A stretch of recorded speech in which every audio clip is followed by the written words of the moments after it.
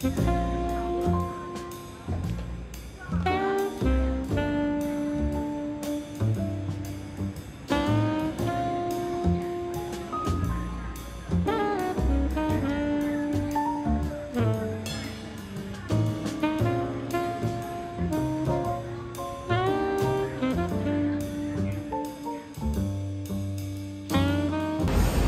ゃおは大家好キムソンです、えー、本日も中国重慶から原曲お送りしていきたいと思います。えー、今日はですね国慶節、えー、真っ只中でございます。国慶節のですね今日が、えー、10月5日になりますのであと国慶節連休残り2日ですね、えー、そしてね、えー、国慶節一体どういうものなのかっていうのをね、えー、今日は撮っていきたいと思います。まあ、僕ですねツイッターもやってましてツイッターでいろいろね、えつぶやいてるんですけども国慶節はですね本当にまあ春節もそうですけど旅行するもんじゃないと、まあ、本当にねどこ行っても人人人なんでまあもう旅行どころじゃないですよ。もう本当に人が多くてどこ行っても並ばないといけないし僕はあんまり国慶節を使った旅行には行かないんですよね。はい。でまあ今日はですね国慶節ってどれぐらい一体人が多いのか。で、まあ、重慶のね一番有名なその、えー観光地ですね、えー本屋丼というところそこに行ってですね今日は、えー国慶節、まあ、その人の多さっていうのをね撮っていきたいと思います。そして今日ねこんなやってこう胸にこうやってつけてるんですけれどもこれでね、えー街歩き動画撮っていきたいと思います、まあ、これ撮るこれで撮るとこう両手が空くので、えー非常にやりやすいです。じゃあそれではですね、えー今ここはダーピン2号線のダーピンというところなんですけれどもここからですね、えー本屋丼のある、えーチャオティエンメンそちらの方に、えー行きたいと思います。それでは行きましょう。それではですね早速撮っていきたいと思います。今からですねここが、えーダーピンというところなので2号線でですね、えーその一番ね重工で 重工じゃないわ。重慶で有名な、えー看護スポット本屋丼に行きたいと思います。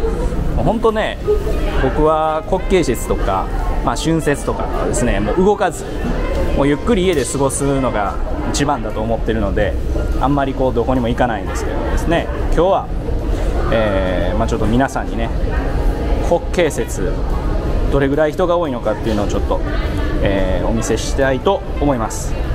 じゃあ今から地下鉄に乗るのでマスクをねちょっとつけます。えー重慶、まあ、重慶限らず中国ですね。コロナ対策非常に徹底しておりまして、えー僕も8月日本から中国に帰ってきましたが、えー最低14日間で、えー最長だと21日間の隔離ホテルでの生活、まあ、強制ですね。で実費での、えその生活。そしてですね、えまあ、国内でもしそのコロナ感染者が発覚した場合はですねその団地もしくはもうその都市がロックダウンですね、まあ、1ヶ月近くロックダウンしてですねそこに住む市民全員に PCR 検査。これは無料で PCR 検査やります。でそこでも洗い出して、えー全国への感染を防ぐっていう徹底した対策が取られてますので中国国内ですね非常にこう安全に、まあ、コロノーコロナぐらいの勢いで、えー生活を送ることができてます。結構ねコメントでも、えー皆さんマスクつけられてないですか？みたいなことが結構多いので、まあ、ちょちょっとこういうことね説明させていただきました。さあ今から行きたいと思いますが実は街歩き動画、まあ、これで2回目ですね。一応今回もノーカットで撮っていきたいと思います。えーまあ、ノーカット編集してもいいんですけど、まあ、一つはそのノーカットの方がよりねこう街の雰囲気とかなんかこう自分が観光してるみたいな感じで、まあ、こう見ていただけるかなっていうのとあともう一つは編集の時間を、えーまあ、省略するということで結構ね編集って思ったよりも時間がかかるものでして、まあね、ちょっとそういう編集を少なくしてですねできるだけ多くの動画をねこう皆さんに見てもらおうと思っております。さあじゃあ今から地下鉄に乗っていきます。これがね地下鉄です。見えるかな？ょっとこれ反射してるな。さあ。それで今日は荷物ないのでこうドリンクはね液体物はここでこういう風にチェックしてもらいます。さああと16元。少ないな。もうちょっと。チャージしとかなあかんな。あで今これ僕持ってるのがですね。最近、えー、いろんなコンビニとかで売られてるこの飲み物。これ結構美味しいんですよ。3種類ぐらいの味があってですね。僕はこのライチと、えー、何？その海の塩。えー、まあ、そういう塩塩ですよね。ちょっとこうライチプラスなんかお塩味みたいなのがあるんですけどこれ結構最近好きでよく飲んでます。はい、えー、ちょっとこうホームに降りてきましたが、えー、結構ですね人思ったより少ないです、まあ、ダーピンってここね大坪って書いてダーピンって言うんですけどダーピンはこう非常に、えー、オフィスとかも多いこう中心エリアなので結構ですね人多いんですがやっぱりこう仕事がね今休みなんで非常に人は少ないですね。さあこれね今ここですダーピン。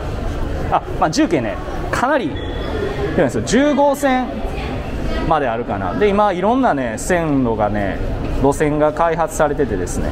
あここにあるわ。1号線からこっちまでありますね。あミスった。俺こっち乗らなあかんかった。こっちやと思ってた。あ思いっきり1つ行っちゃいましたね。まあいいや。これちょっと説明しよう。で今ここダーピン。でね一番有名な本屋ドンっていうところがあるのはこちらになるんですよ。ジャオチャン、えー、ジャオチャン港かな。ここですね。でここがね下流港というこれね下流港沿いの、えー、下流港沿いを走る2号線でしてこの2号線は非常に夜景が綺麗に映ります。なので重慶来た際はですねこのジャオチャン港から、えー、2号線乗ってみてください、まあ、この辺までダーピンぐらいまでダーピンまで来る必要ないかな、まあ、ダーピンぐらいがこの夜景最後かな、はい、非常にあの夜景綺麗に楽しめます。えー、そしてこの2号線のモノレール兼地下鉄はですね、まあ、モノレールの部分かな。モノレールの部分は、えー、日立確か日立のモノレールだったと思います、えー、日本の ODA 政府開発援助で、えー、2003年とかやったかなに作られた、えー、モノレールですね。はい。さああでこっちが長江ですね。で最近ねそのまあ、中国で、まあ、あと工業地域工場が多いところで結構計画停電が行われているようで、えー、停電大丈夫ですかっていうコメントをねいただくんですが重慶ですね、えー、全然、えー、停電はないです。かなりライトアップとかも、えされてると思いますのでまあちょっとそういうところをね取れたらなと思います。やっぱ子供連れが多いですねお子さん連れが、え、まあこんな感じですね。重慶のモノレール。まあ地下鉄。必ずこのようにガラス張りになってます。逆に日本ってこれがないから危ないですよね、まあ、最近できてると思いますが、まあ、僕大阪とかよくあのー、大阪で仕事してたんですけど大阪の御堂筋線とか地下鉄が、まあ、最近できたかな心斎橋とかこういうのはないですもんね。だからあんな狭いホームにあれがな なくてよく人落ちないなっていうぐらい、え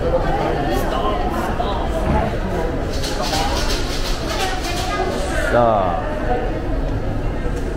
もうそろそろ来ますね。あ来ました。人多いかな。どうやろう。まあまあまあ普通ですね。そんなに思ったより人多くないですね。まあ、ここから多分観光地に行くにかけてどんどんこう人が増えていくかなという感じですね。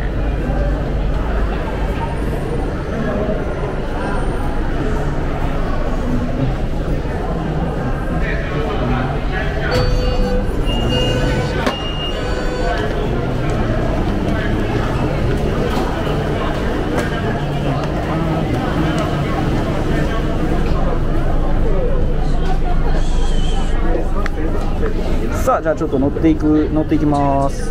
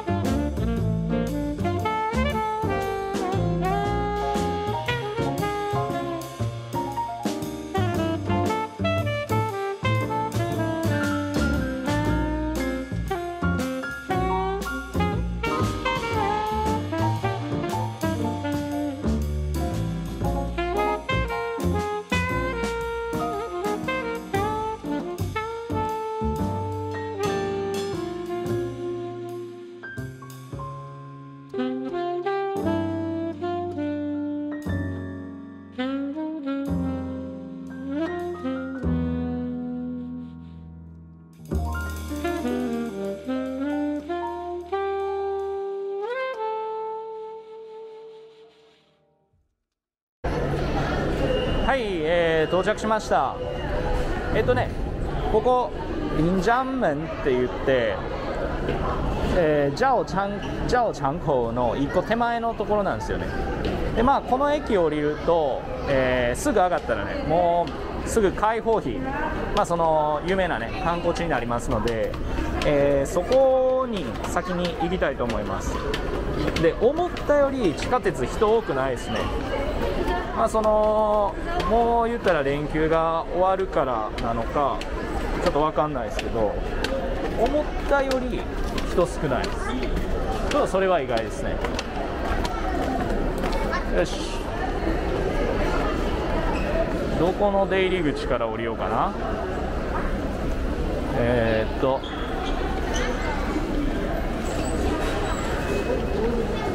さあちょっと地図見ましょうか。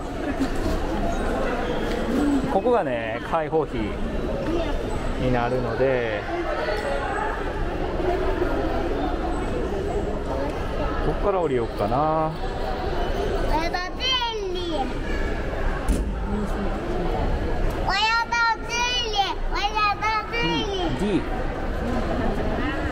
D か。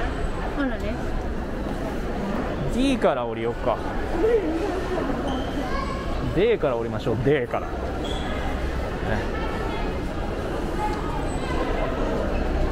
この開放日はですね普通に連休じゃなくても、えー、重慶の、まあ、屈指の観光地なので人は多いですね。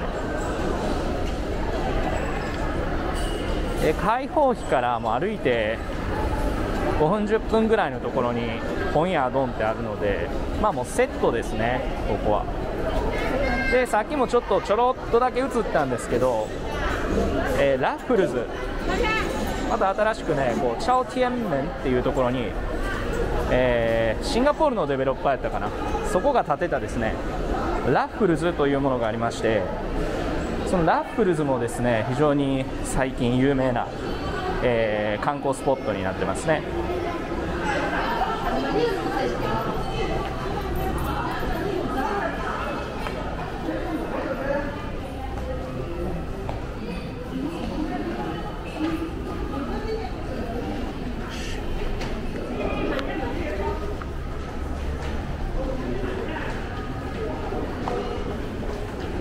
思ってる思ったより人少ないですね。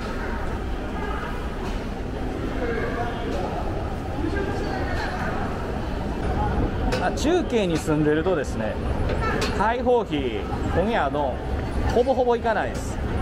なんか京都に住んでる人が清水寺とか、えー、金閣寺に行かないみたいなもんで、まあ、外の人がやっぱ多いですね。あの YD って言うんですけどその他府県みたい他の地域から重慶に観光に来た人が、えー、そういうところ行くのが多いですね。普段重慶に住んでる人はまあまあ行かないです。やっぱまず物が高いし観光地なんで。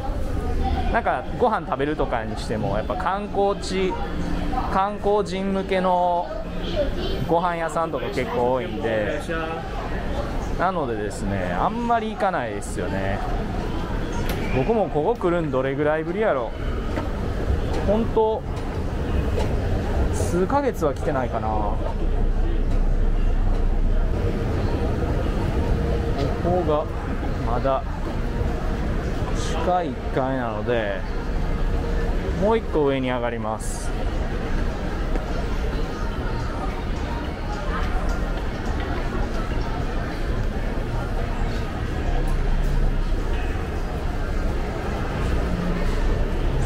から出れるかな。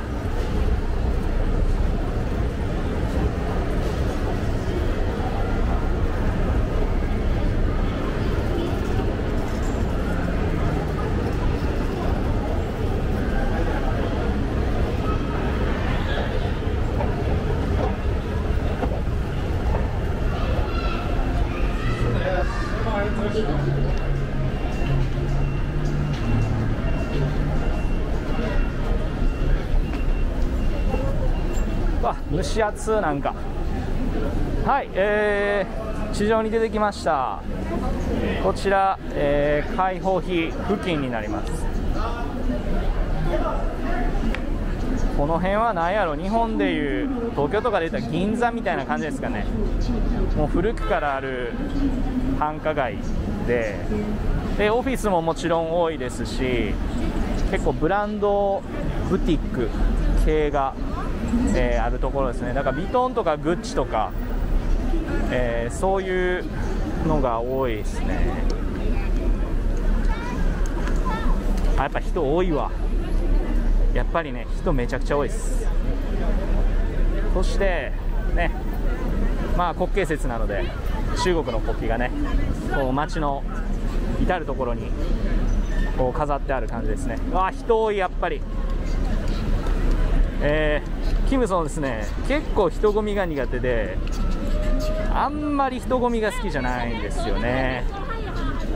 そう。でこういう観光地になるとトイレ行くの結構面倒くさいじゃないですか。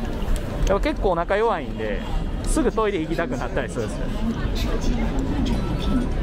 なのでねあんまりねこう人が多いところっていうのは得意ではないですね。さあまずじゃあね開放費が、えー、どれぐらい人いるか見ていきましょう。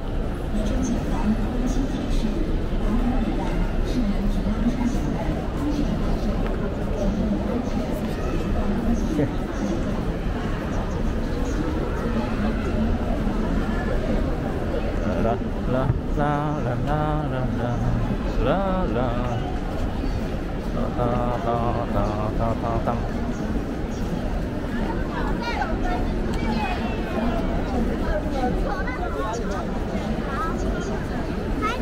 やー人多いなこれね皆さん結構広いんですよ。道も。ただその広い道にこれだけの人がいるんですよ。すごいですよこれ。やっぱ普段の倍3倍ぐらいはいますね。さすが国慶節って感じで。ああ人いたあこれですね。目の前に見えてるのが解放碑ですね。もともとその、えー、日本軍に勝利して建てられた、えー、記念碑なんですけどその後確かね国民党と共産党が戦ってで共産党が勝った記念碑っていうことに変わったんですよ。それで、えー、人民解放記念碑ということで解放碑となってます。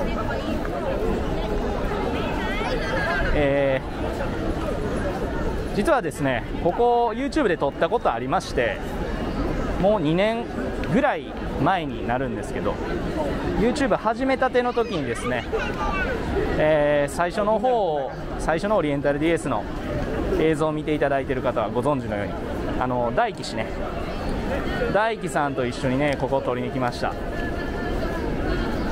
懐かしいな。あの時は冬やったんですよね。12月末に撮りに来ましたね。ああこれ人の量がねすごいです。本当に。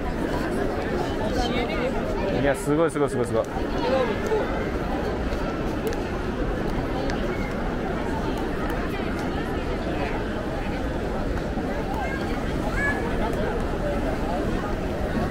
ねもう高層ビルも僕ガンガン建ってますしゃさあ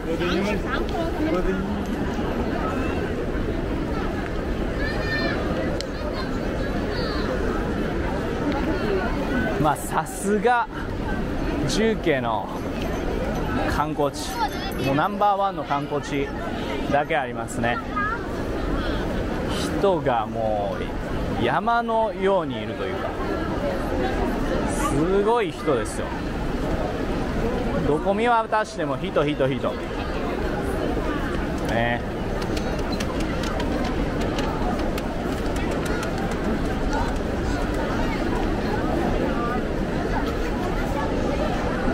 いやすごいわ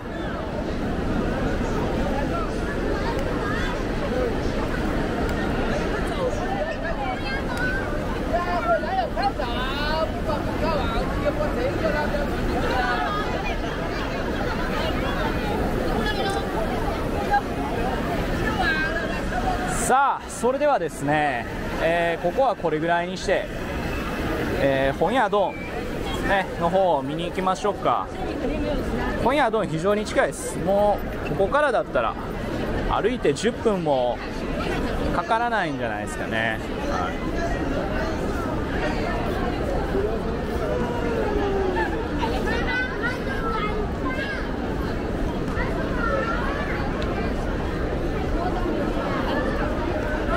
ー、僕ですね初めて重慶に来たのが2016年、えー、9月に来ました。で現地の貿易会社で働き出したんですけど9月末に来てで10月1日から7日までもうこの国慶節連休でもう出勤して数日で連休に入ったんですよね。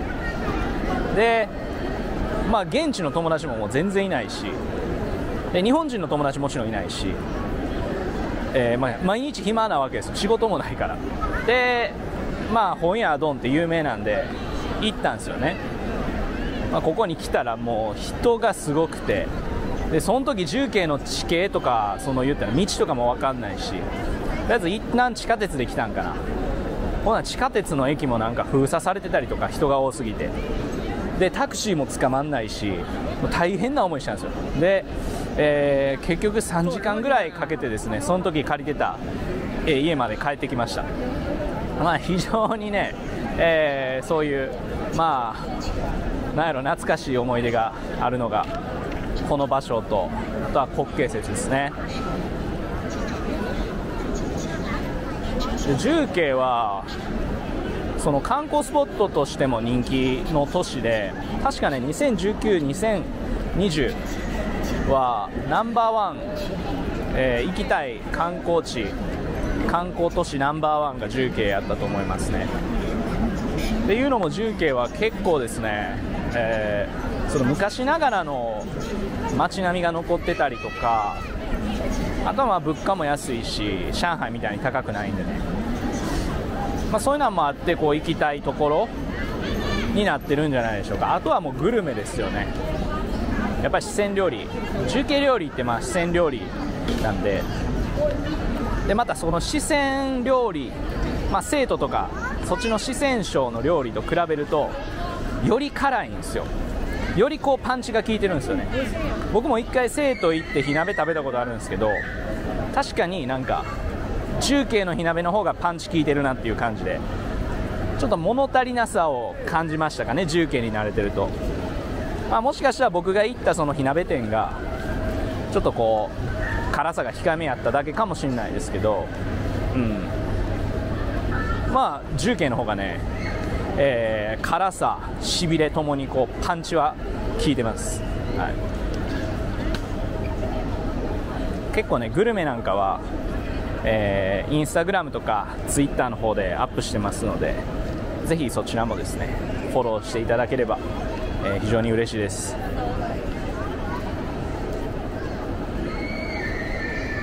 ああっちから行ってよかったな。こっちから行こうか。ちょうどねえーっとなんか重慶のそのシアターホールシアターみたいなのがねすごい面白い形してるのでちょっとそこを見に行きましょうか。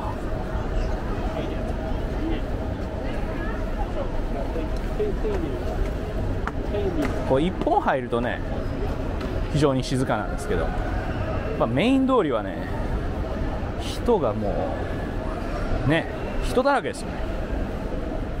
あちなみに僕こんな感じで撮ってます。こんな感じでここに胸につけて撮っておりますさああ見えた見えた。このねちょっとこうすごい特殊な形したのがその重慶の、えーシアターホール。結構劇とか演劇とかここでやってると思います。ただ見たことはないですよね。ここに入って見たことはないです。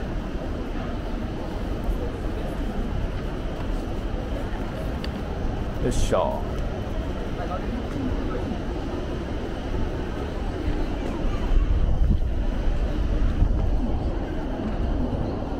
さあここ。ね。あ日本のランクル。日本車非常に人気ですよ。非常に人気あります。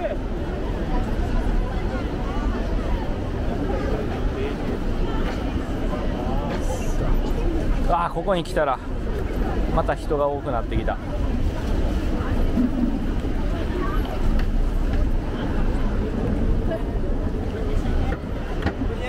さあこれがですね、えーまあ、重慶のシアターホールにあります。非常にこう特殊な形してますよねね。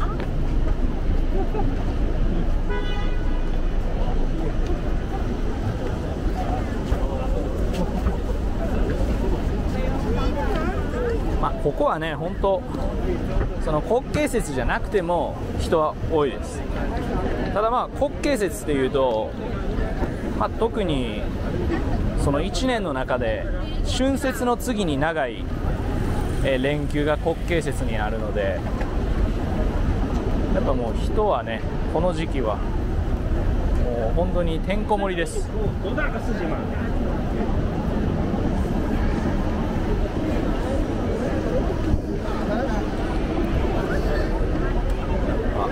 家族連れが多いな、ね、観光に来てるんでこの辺ねやっぱホテルなんかもねこの時期はめちゃくちゃ高いんですよ、うん、あこの辺りの民泊？民泊なんかも値段がねガーってこの時はね高騰するんですよね。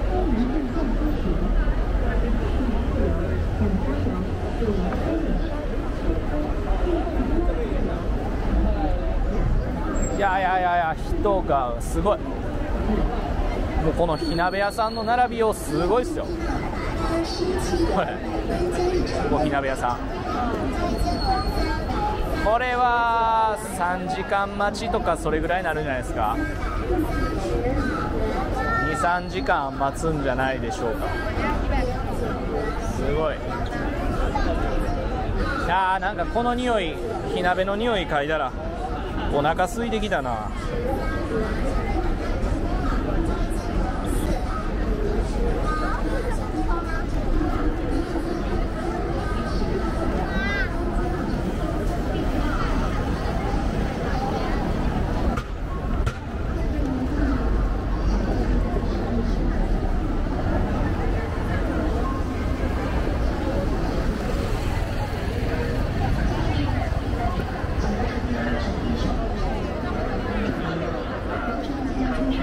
请抓紧时间。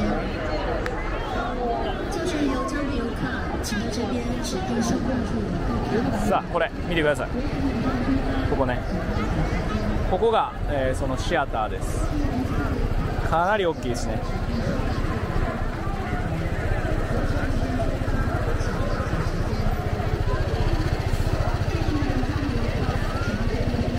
バイクのお兄ちゃんの T シャツ。ベジータ書いてある。あーやべえヒット。やばいやばいやばい。やばいですやばいです。あつらいつらいつらい。この人混みはつらい。やばいな。えーそしてですねここのこの歩道橋ちょっとこうガーって上がっていきます。上がって降りたところがですねえー本屋ドンになりますのであ今これ交通整理行われてますね。本屋ドンファンシャン本屋ドンまで行くにはそっち行ってくださいと。普通は行けるんですけどだから今もうこう混雑しすぎるんであの一歩通行にしてますね。いやーこれ恐ろしいですよ。これから。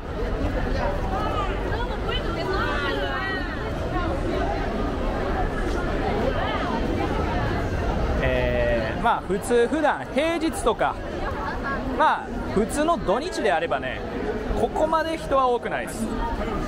はい。なので国慶節に来るとね国慶節もしくは春節。まあ春節は結構みんな田舎に帰るからどっちかって言ったらまあまあマシかな。やっぱ国慶節がすごいですよ。はいここの火鍋屋さんもすごいことなんで。めちゃくちゃ並んでますよ。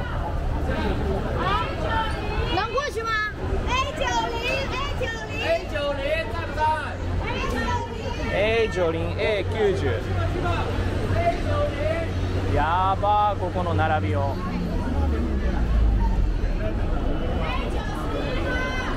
さあまあ僕らからの感覚その重慶の地元人の感覚からするとですねあんまこういうところの火鍋屋さん美味しくないですよ。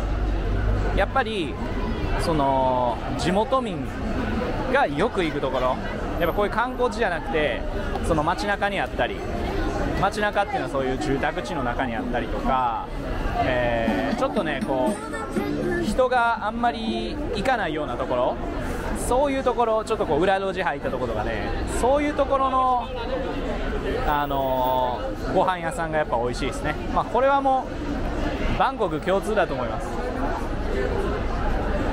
ああこれねもうここねこう警備員がいてですね渡れないようになってます。結構ねここ渡れたりするんですけどもう今はね渡れなくなってますね。やっぱ年々なんかこういうところしっかり整備されていってるな。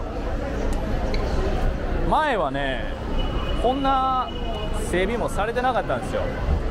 まあやっぱり人が多すぎて、まあ、あの時はほんま車も通れないぐらいの人の多さやったんですよ。あここはこう渡れる感じになってるな。あでも渡ったらあかんって言われてる。渡ったらあかんって言われてる。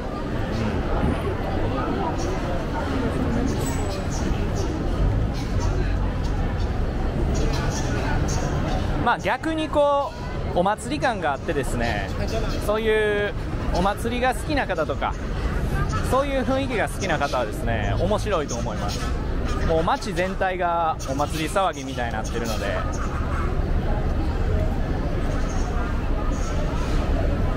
いやかなりこれ遠回りしていかなあかんな。さあこっからはいけるかな？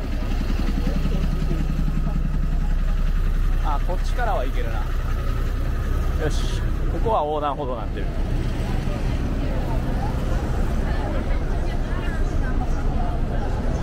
あっちなんですけどね。こっちにこう歩かされてますね。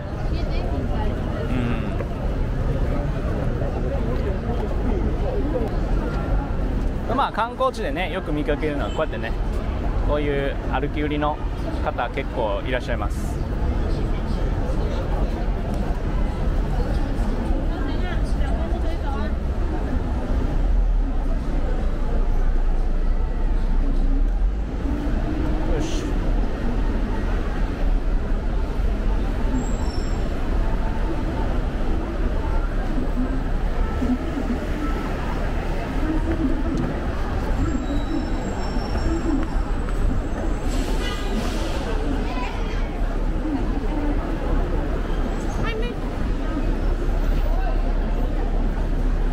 だいぶこれ回らされてますね。あれ通常あのあの歩道橋じゃないわ。歩道橋か。歩道橋渡ったらですねすぐ着くんですよ。今だいぶ遠回りしてます。あちょっとねちらっと見えますかねあそこ。あのラッフルズのちょうど筒の部分が見えてると思います。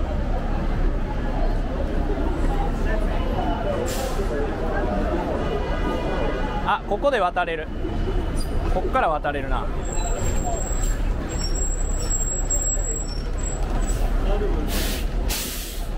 さあこっから渡れるのでこっから渡っていきましょう。そうこっち。こっちのね。ここから渡っていきたいと思います。よし。うわあすごい人。ほんまに。すごい人ですよ。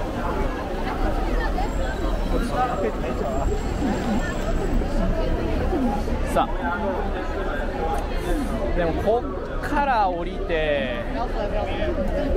あこっちも行けへんわ。ここからねここから入れるんですけどここも今入れないようになってます。一方通行になってます。厳しいなマジで。かなり交通整備されてますね今。まあそうじゃないとね。確かにもうえぐいぐらいの人なんでここに来る人だって。その量で言うと。えぐい量なんで。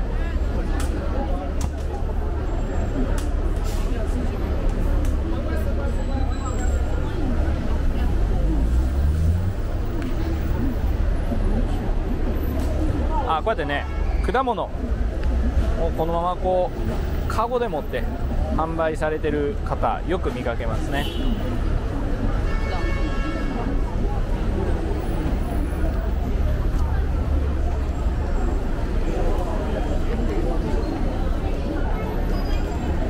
あ中国ね。あの観光する際はですねあの本当動きやすい格好の方がいいと思います。結構広いし歩くのであと、まあ、今日なんかでもねだいぶ日中暑かったんでもう半袖半ズボンぐらいでいいです。あとはもう歩きやすい靴運動靴スニーカーがいいと思います。はい。ありゃりゃりゃりゃあらまあらまあらまここがここがね普段はここ道路になってるんですが歩行点になってます。うわーそっか。そうなってるんや。は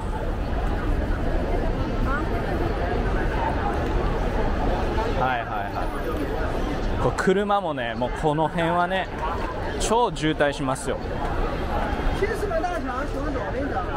あーやばいやばいもうこれ。祭りですよ祭りも。祇園祭りですよこれも。キムソンね京都出身なのであの祭り、えー祇園祭りを思い浮かべます。祭りと聞くと。ね祇園祭りもね暑い時期にあるんですよ。で重慶も蒸し暑いんで湿度がね80%ぐらいあるんですよね普段。ねこう曇りが多いんで。ちょっとこう京都を思い出しますねこの蒸し暑さ。ああもうここね完全に封鎖されてます。まあこう道路封鎖されてる方がねまあ歩きやすいんで。僕が前初めてここ来た時なんかそういう道路封鎖がなかったですね。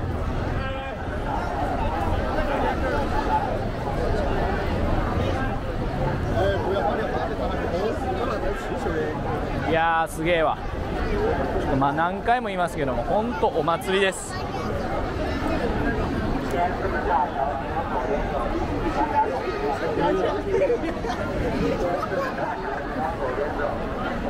えー、っとねどう行こうかな。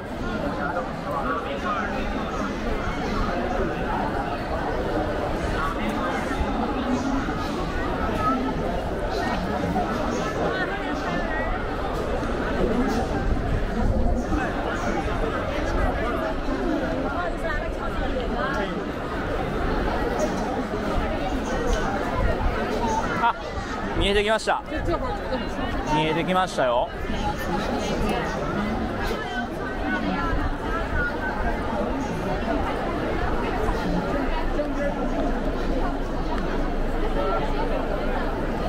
あ見えてきましたね。あ見えてきた見えてきた。綺麗綺麗。あすごい綺麗です。でもこれこの道から行ってあそこ行けんのかな？毎年ねそのルールが変わるんでちょっとこの道はね僕も未体験ですああ分かった分かった。ここに来るのかこの道。あなるほどです。ああはいはいはい。あうまいことこれ交通整理してるな。うん。あ確かにですね。これ交通整理した方がいいですね。この辺は。もう僕来た時ね僕初めて来た時は普通に車がこうここ通ってる状態でこれぐらいの人やったんですよ。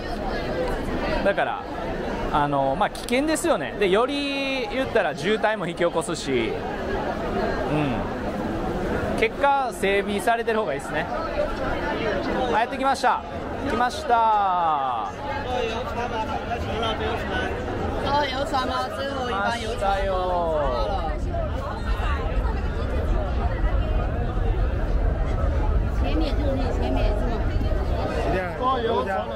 ちょっとねやっぱこうあそこあそこにね行くと一番こう綺麗に見えるのでそこまでちょっと行きますね。